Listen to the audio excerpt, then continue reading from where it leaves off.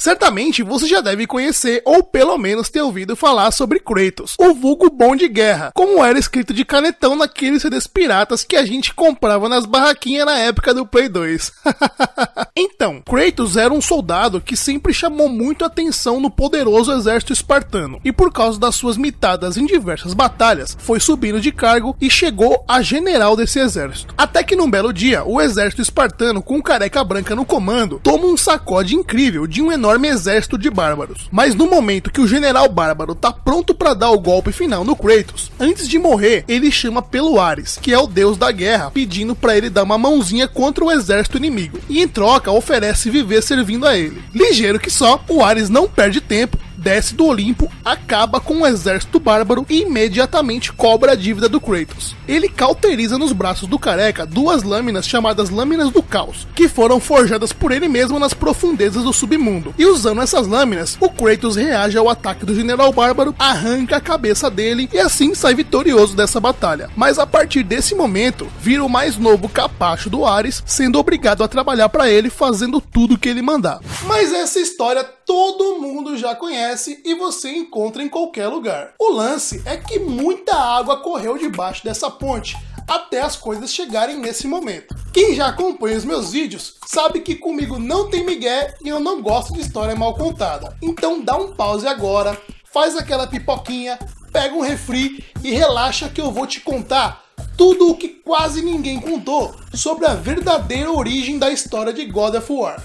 Tudo começa no início dos tempos, quando o Sol que existia era o primeiro ser do universo que se chamava Caos, mas em algum momento, talvez se sentindo um pouco sozinho, decidiu criar um outro ser e chamou de Nix. Nix nasceu com um aspecto feminino e passou a representar a escuridão, ou seja, representa a noite. Então Caos e Nix criaram juntos um lugar chamado Ilha da Criação e a partir de lá criaram o um mundo. A primeira criatura que nasceu ali foi Gaia, a mãe da Terra. E para não ficar sozinha, ela mesma gerou um ser chamado Urano que nasceu representando o céu. Provando a teoria de que a putaria é o que move o mundo desde sempre, começou uma meteção doida entre Urano e a própria mãe. Mas como ainda não existia camisinha naquela época, vários filhos foram nascendo desse incesto, dando origem primeiramente aos seres que ficaram conhecidos como titãs. E não, eu não tô falando desses titãs aí.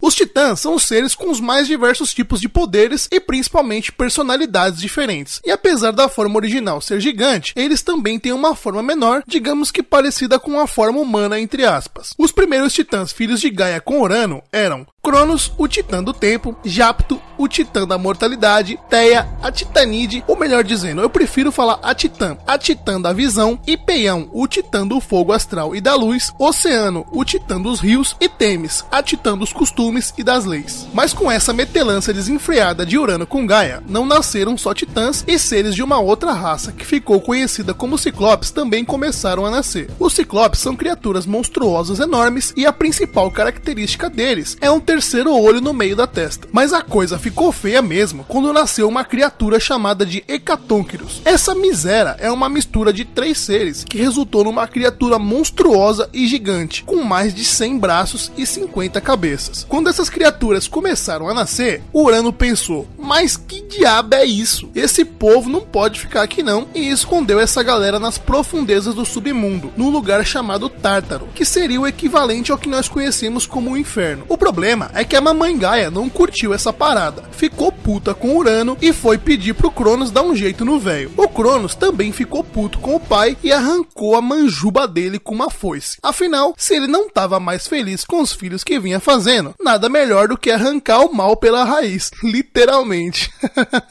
com isso, o Cronos tirou Urano do poder e passou a ser o líder dos titãs. Mas a putaria continuou comendo solta e a partir daí, os titãs começaram a ter filhos entre si dando origem aos titãs de segunda geração, que diferente da primeira, alguns não nasceram como titãs. Mas pela história do jogo, agora vale a pena destacar três dos filhos do titã Japto que são Prometeu, o titã do conhecimento prévio, Epimeteu, o titã da falta do conhecimento prévio e Atlas, o titã da resistência. Como nessa época o mundo era um lugar muito vazio, os titãs Epimeteu e Prometeu criaram todos os seres vivos Ou seja, criaram as plantas, os animais e os humanos. Nesse tempo, a única estação do ano era a primavera. Todo mundo vivia em paz e harmonia, ninguém envelhecia, a terra produzia alimento de sobra para todo mundo e definitivamente não faltava nada nem para os animais nem para os humanos. Era uma época maravilhosa. O mal não existia e ninguém precisava se preocupar com absolutamente nada. Tanto que essa época ficou conhecida como a Era de Ouro da humanidade. Enquanto isso, o Cronos mostrando ter puxado o dom da transância do pai, não demorou muito e começou a sentar a manjuba numa novinha muito da delícia chamada Reia. Tava tudo lindo, tudo show de bola. Até que as Moiras, que são os três seres encarregados de decidir o destino de tudo e de todos, tiveram uma previsão que o Cronos seria traído pelo próprio filho, assim como ele fez com o pai. Aí, meu amigo, o caldo entornou. Desesperado, o Cronos deu os corcéis do tempo de presente para as Moiras, esperando que elas mudassem o destino dele. Mas mesmo aceitando o presente, elas disseram que não poderiam fazer nada por ele. E naquela época não tinha outro jeito. A única solução para ele não ter mais filhos era parar de meter. Mas o problema é que isso é impossível para um cara transarino como Cronos. Não dá para simplesmente parar de acasalar e viver para sempre só no 5 contra 1. Então ele ficou ainda mais desesperado, até que teve a brilhante ideia de engolir os filhos que fossem nascendo. Assim nenhum deles iria crescer e trair ele depois. E os que se foderam nessa foram Poseidon, Hades, Hera, Estia e Demeter. Mas como a metelância não parava, a Réia acabou embuchando de novo e puta da vida pelo que o Cronos fazia com os filhos. Dessa vez, assim que o filho nasceu, desesperada, ela pediu ajuda para Gaia e entregou a criança para ela antes do Cronos vir buscar. Quando ele chegou para engolir o bebê, ela entregou um pedaço de pedra enrolado num pano e como ele sempre fazia, engoliu sem desconfiar que dessa vez estava sendo enganado. É aquele velho ditado, né? A mulher já enganou Adão, Sansão e até o Lampião. Imagine você que é um bestão.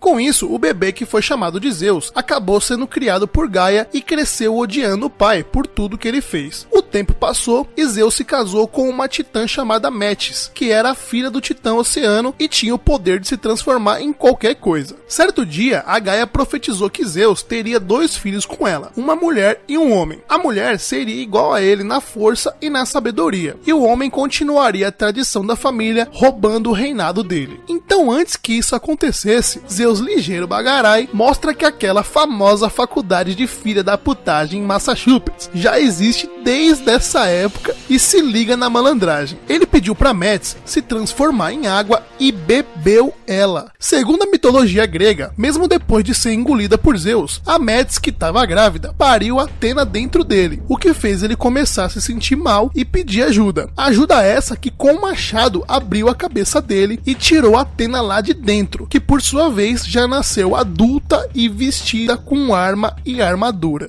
Ah, o quê? Vai me dizer que você achou um pouco forçado? Ah, quase nada, né? Pois é, mas é isso aí mesmo. Como a Gaia tinha profetizado que Zeus ia mandar na porra toda um dia, quando ele finalmente se sentiu forte o bastante, foi enfrentar o pai em busca de vingança. A chinela cantou pesado e nessa luta Zeus conseguiu libertar os irmãos de dentro do Cronos. Só que aqui tem um detalhe. Na história original da mitologia grega, diz que o sexto filho de Cronos abre a barriga dele e tira os irmãos de lá de dentro. Mas aqui na história do jogo, diz que Zeus faz isso sem matar o pai. Agora, como ele fez isso, eu não tenho tenho a mínima ideia. Eu sempre tento preencher essas falhas, às vezes criando até uma teoria mais aceitável, como foi no caso da saga Mortal Kombat, que inclusive tá aqui na descrição se você quiser conferir depois. Só que dessa vez não dá para defender não. Os caras não ajudaram, tô sem criatividade para isso. É por isso que eu sempre digo, não fui eu quem criou essa história. Eu tô só contando. Depois disso, os seis irmãos se autodenominam como deuses, culpam todos os titãs pelos erros do Cronos, inclusive a Gaia, e declaram guerra contra eles. Então os deuses criam um plano para dominar o Monte Olimpo e tirar os titãs do comando do mundo. Assim começou a guerra entre deuses e titãs, que ficou conhecida como a Grande Guerra do Mundo. E dessa vez, a chinela cantou tão pesado que os raios, trovões e terremotos que rolaram nessa treta modificaram a paisagem do mundo e deixou como a gente conhece hoje, com continentes, montanhas e vulcões. Percebendo que estava dando ruim para os titãs, alguns titãs, como por exemplo Prometeu e Hélios, o titã do sol, traíram os titãs e foram pro lado dos deuses. Durante essa treta, os deuses libertaram os Ciclopes e o Hecatônquiros do Tártaro, que em troca ajudaram eles na batalha. E ainda como forma de gratidão, os Ciclopes forjaram armas para os deuses, como por exemplo o tridente de Poseidon, o elmo de invisibilidade do Hades e o relâmpago de Zeus. Essas armas deram ainda mais vantagens para os deuses, mas mesmo assim, os titãs continuaram firme e forte na batalha. Depois de muita treta, de saco cheio dessa guerra e pensando em dar um ponto final na parada, Zeus criou uma espada chamada de Lâmina do Olimpo, e usando ela, ele finalmente conseguiu acabar com a batalha, mandando todos os titãs pro Tártaro de uma vez. Se liga só.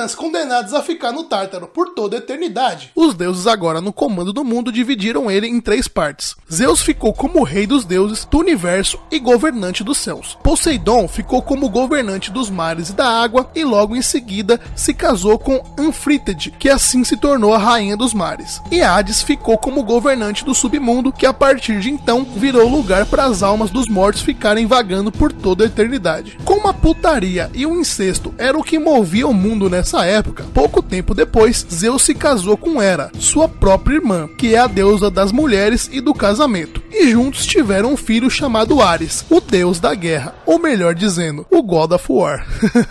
Tava tudo tranquilo e favorável pro povo na Terra, até que o cabaço do Prometeu teve a brilhante ideia de roubar um pouquinho da chama do Olimpo e dar para os humanos, fazendo assim eles se tornarem superiores aos outros seres vivos. O problema é que essa chama tem um poder maior que o dos próprios deuses, e quando Zeus ficou sabendo disso, condenou Prometeu a um castigo terrível. Ele foi preso numa rocha enorme para que uma ave ainda maior viesse e devorasse o estômago dele. Mas no final do dia, ele seria totalmente curado, para que no dia seguinte a ave viesse para devorar de novo e assim iria se repetindo, dia após dia, por tempo indeterminado. É, pesado, né? Já que agora os humanos ficaram superiores aos outros seres da Terra, Zeus decidiu acabar com a mamata do povo. Então começou criando o frio e o calor, o que diminuiu a primavera e gerou as estações do ano. Com isso, a humanidade teve que inventar as casas para se abrigarem. Ainda não contente, Zeus continuou e eliminou os alimentos que nasciam naturalmente, o que obrigou a humanidade a aprender a plantar e colher, ou seja, trabalhar para comer. E para piorar, Zeus extinguiu a juventude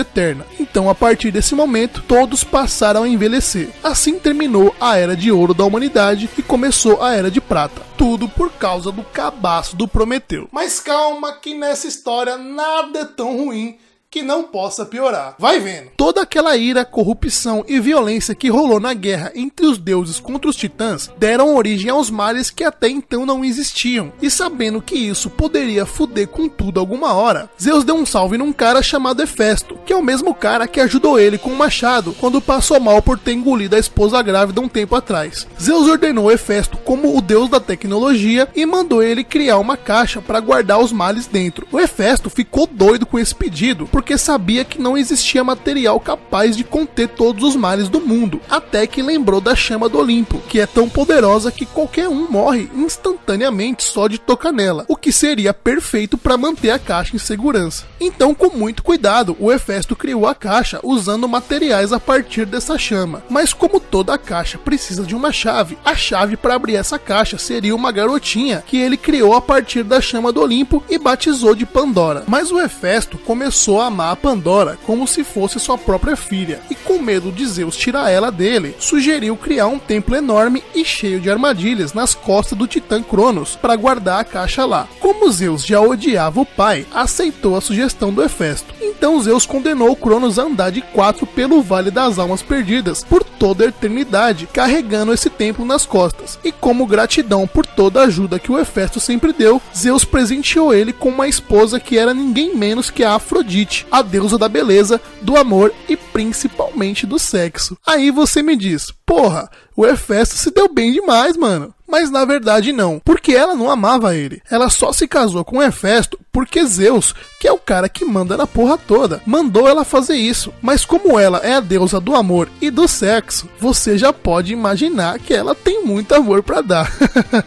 então, ela sempre traiu ele na cara de pau com vários deuses e até humanos. Demorou muitos e muitos anos para construir esse templo e encher com várias armadilhas, para garantir que nunca ninguém chegue na caixa de Pandora. Até que com tudo terminado, a caixa foi trancada com todos os males dentro dela. Mas, e sempre tem um mas, né? Atena, filha de Zeus e deus da sabedoria, pegou a esperança do mundo e na maciota, sem ninguém ver, guardou na caixa antes deles fecharem. Ela fez isso porque imaginou que se por acaso essa caixa fosse aberta por alguém e espalhasse os males novamente, só com a esperança a humanidade conseguiria vencer os males e seguir em frente. Muitos anos depois, talvez se sentindo entediado, Zeus decidiu criar uma nova raça de seres humanos mais fortes e violentos. E foram eles que começaram as guerras e cruzadas entre a humanidade, o que provocou a passagem da Era de Prata para a Era de Bronze. E com essas guerras na Era de Bronze, a humanidade entrou na Era dos Heróis, que é a era onde a história do jogo se passa. Nessa era, assim que morrem, as pessoas comuns vão pro submundo ficar vagando por lá. Mas se a pessoa fosse um filho da puta de carteirinha, e fizesse muita merda em vida, além de ir pro submundo, ao invés de ficar só vagando sem rumo, ficam lá sofrendo muito na mão do Hades por toda a eternidade. Por outro lado, os benfeitores, os sacerdotes e os grandes guerreiros, quando empacotam, vão para um lugar conhecido como Ilha dos Bem-Aventurados, um lugar maravilhoso onde as almas vivem tranquilamente sem contato com os vivos, mas dependendo do que fizeram em vida, podem até virar deuses e viver no Olimpo. Mas voltando a falar sobre Zeus, ele não tinha que ser o deus do céu, ele tinha que ser o deus da putaria, porque o bicho pra ser transão. Mesmo casado com Hera, ele não queria saber. O negócio era descer a piroca em todo mundo. Era titã, deusa, humana, dizem até que nem animal ele perdoava. Coitado coitada das cabritinhas.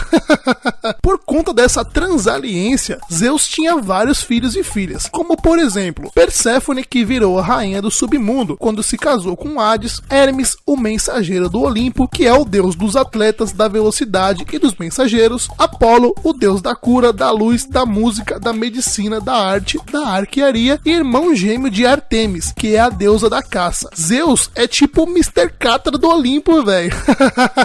Numa dessas transâncias, ele sentou-lhe a manjuba numa mulher espartana chamada Calisto e derramou o mingau nela. Nisso, ela emprenhou e nasceu um garotinho chamado Kratos. Pouco tempo depois, Zeus voltou, largou a cola na Calisto de novo e dessa cruzada nasceu um moleque chamado Deimos. Como nasceram em Esparta, Kratos e Deimos começaram a ser treinados desde pequeno para serem guerreiros espartanos. Kratos sempre foi mais forte e agressivo que o irmão, e por isso treinava o Deimos pro moleque ficar tão forte quanto ele. Um dia, Ares e Atena chegaram terror nessa vila de espartanos e depois de matar várias pessoas, sequestraram o Deimos. O Kratos até tentou defender o irmão, mas o que um pivete frango como ele poderia fazer contra o todo poderoso deus da guerra? Pois é, Ares picou-lhe a mão na fuça do menino Kratos, que voou longe e ficou com uma cicatriz no olho. Quando Ares ia matar o Kratos, Atena disse para ele parar, pediu desculpa pro moleque e meteram o pé levando Deimos. É, eu tô ligado, agora você tá se perguntando, mas por que diabos eles fizeram isso? O lance é que antes dos moleques nascerem, um oráculo avisou os deuses que a destruição deles não viria pelos titãs, mas sim de um mortal marcado. Como Deimos nasceu com uma marca vermelha pelo corpo e era um semi semideus, filho de Zeus, com uma mortal, os deuses ficaram com medo dele ser o mortal da profecia do oráculo e por isso foram atrás dele. Depois de pegar o Deimos, o Ares foi até um lugar chamado Domínio da Morte, onde vive um ser chamado Thanato, que é a personificação da morte, e entregou o moleque para ele, que passou a atormentar o coitado naquele lugar, impedindo a profecia de acontecer. O problema é que os deuses não imaginavam que o Deimos não era o mortal marcado da profecia. O Kratos cresceu revoltado por não ter conseguido salvar o irmão e prometeu que nunca mais deixaria algo assim acontecer de novo. Muitos anos depois, num dia que seria o aniversário do Deimos, se lembrando dele, o Kratos fez uma homenagem e tatuou o corpo com tinta vermelha, imitando a mesma marca que o irmão tinha. Já adulto, o Kratos se tornou um soldado muito respeitado no exército espartano e mostrando que o gene da transância passou do avô pro pai e do pai para ele. O carequinha branca até que é um cara bem legal. Pena que não pode ver mulher. Eu não sei se na dança ele já pede para baixar, mas vivia debaixo dos rabos de saia por aí. Só que a vida de transão é sempre assim. Ele pode ter mil mulheres, mas sempre tem uma que pega o cara de jeito. E no caso do Kratos, foi uma mulher chamada Lisandra, que fez ele trocar o bar pela sorveteria e virar um homem de família.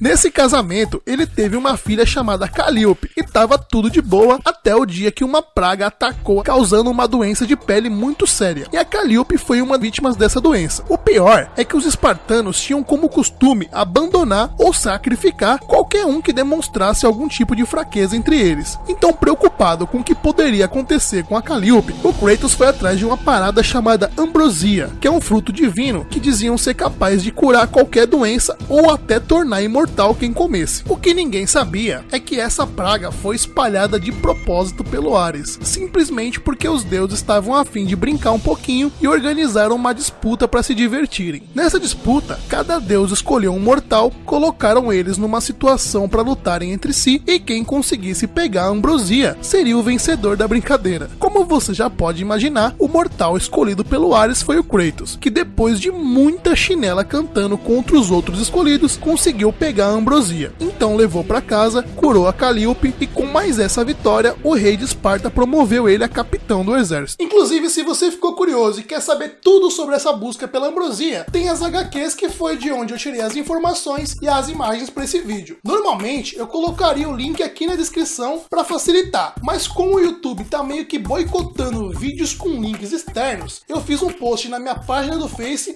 e lá no Twitter. Então é só ir lá para conferir. Mas se quiser aproveitar para me seguir também, a gente troca uma ideia por lá. Até porque sempre que eu encontro alguma parada legal, eu compartilho com a galera por lá, principalmente no Instagram e no Twitter. O Kratos vivia muito feliz com a sua família e passava o máximo de tempo que podia com ela. Nesse tempo, ele fez uma flauta para Calliope, que se apaixonou pelo instrumento, mas ao mesmo tempo que ele era apaixonado pela família, o careca Albina também era apaixonado pelas batalhas com o exército espartano e fazia coisas tão brutais nessas batalhas que até os próprios espartanos tinham medo dele, menos a Calliope e a Lisandra, que inclusive comia o rabo dele, dizendo que ele não precisava ser tão bruto assim nas batalhas. Mas ele não ligava muito porque ela falava não e descia o porrete mesmo em todo mundo. Com tantos feitos e batalhas na conta, o Kratos foi promovido pelo rei a general do exército espartano. Durante todos esses anos de guerras e batalhas, o Kratos matou muita gente e fez muitos inimigos, especialmente falando sobre aquela batalha pela Ambrosia. O general do exército bárbaro era o escolhido do Hades no joguinho dos deuses. E assim como Kratos estava querendo salvar a filha, ele estava querendo salvar o pai. Mas como naquela ocasião o careca levou a melhor, o general bárbaro não conseguiu a Ambrosia para salvar o pai e o velho acabou morrendo. O general bárbaro ficou puto com o Kratos e, como era de se esperar, não ia deixar barato. Então armou uma outra batalha contra os espartanos, mas dessa vez ele fez a lição de casa e foi muito bem preparado, com uma quantidade tão grande de soldados que o poderoso exército espartano não deu conta e foram atropelados pelos bárbaros. Como o general bárbaro tinha tudo planejado, fez questão de dar o último golpe para matar o Kratos, e é exatamente nesse ponto da história que antes de morrer, o Kratos chama pelo Ares e acontece aquilo que eu contei no começo do vídeo. Se liga aí.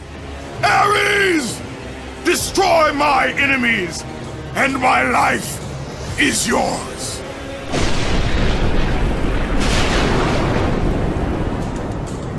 That desperate call for aid would come to haunt Kratos for all his days. The sky split apart, and the god of war stepped through. Descending from Olympus, he saw the makings of a god in a mere mortal. Ares would save Kratos. He would turn him into the perfect warrior, his servant on Earth. Only a simple pledge of loyalty was required. My life is yours, Ares. From this day, I shall carry forth your will. And his fate was sealed. As promised, Ares rescued his new disciple, bringing forth the power of a god. Destroying those who would slaughter Kratos and his men.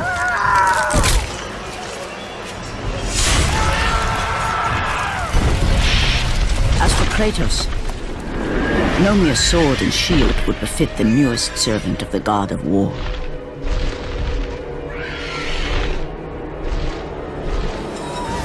The blades of chaos, forged in the foulest depths of Hades.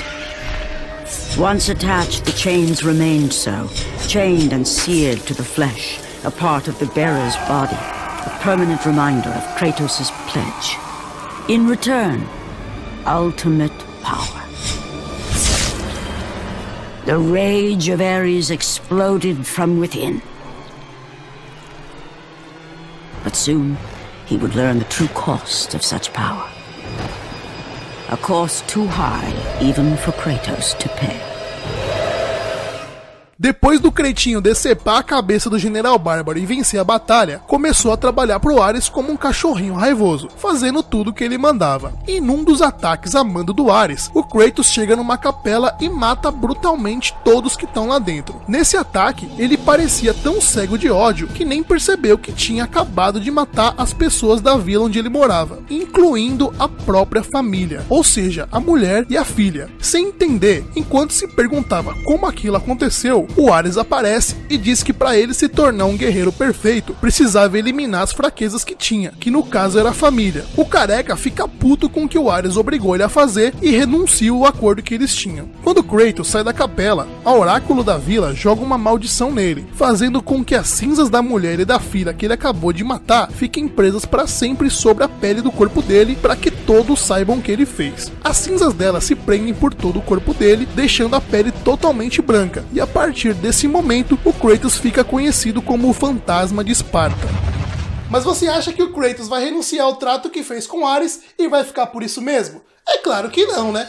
Só que isso a gente vai ver nos próximos vídeos. Mas antes de sair do vídeo, pera aí um pouquinho. Se você não deixou seu like lá no começo e assistiu até agora, deixa o seu like aí para fortalecer o meu trabalho, que eu acho que você percebeu que esse vídeo deu um maior trabalho, né? E se você for novo por aqui, clica nessa bolinha e se inscreve no canal para continuar recebendo os próximos vídeos. E se você curtiu mesmo esse vídeo, aqui tem outros vídeos que eu tenho certeza que você também vai curtir. Então não vai embora não, clica aí, fica com a gente e vai se divertindo. Eu vou ficando por aqui, a gente se vê no próximo vídeo e é nóis!